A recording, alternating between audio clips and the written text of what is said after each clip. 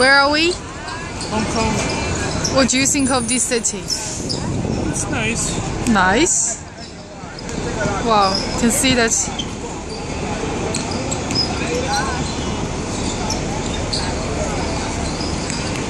So, what's special about this place?